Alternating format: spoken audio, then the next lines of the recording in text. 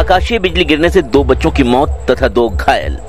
जी हाँ, गुनौर थाना अंतर्गत कुशेदर ग्राम में आकाशीय बिजली गिरने से दो बच्चों की मौत हो गई, जबकि दो बच्चे घायल हैं, जिनका इलाज नजदीकी अस्पताल में किया जा रहा है। बता दें कि आठ वर्षीय कुशेदर निवासी अमृतलाल पिता अरविंद पटेल तथा सुरदहा निवासी नौ वर्षीय गोविंद पिता कालीचरण अपनी बुआ के घर कुशेदर आए हुए थे। दोनों बच्चे कुशेदर गाँव के बगीचे में घूमने के लिए गए थे। लगभग शाम तीन बजे आकाशीय बिजली गिरने से ये घटना घटी।